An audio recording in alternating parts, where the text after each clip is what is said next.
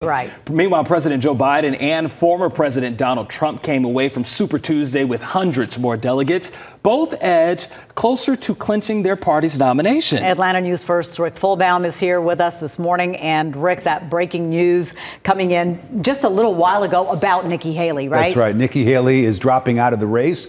That's according to sources close to her campaign, telling both CNN and the Wall Street Journal that Haley will announce later this morning that she is suspending her campaign after failing to earn enough delegates in yesterday's Super Tuesday contest to really pose a real threat to former President Donald Trump on the Republican side. Haley was the only option for Republican voters disenchanted with the former president, hoping to bring the party back towards the brand of republicanism that existed in the days before Mr. Trump. But clearly, those voters are in the minority in the party as he racked up win after win after win yesterday, just as President Biden did on the Democratic side. President Biden releasing a statement saying, quote, millions of voters across the country made their voices heard, showing that they are, quote, ready to fight back against Donald Trump's extreme plan to take us backwards, end quote.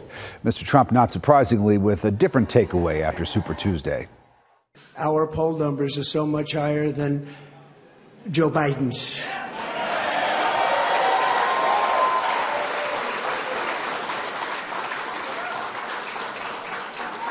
He's the worst president in the history of our country.